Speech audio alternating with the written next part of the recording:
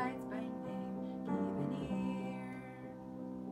Yet Jacobites by name, your thoughts I will proclaim, your doctrines I will. You shall hear, you shall hear, your doctrines I will. You shall hear. What is right and what is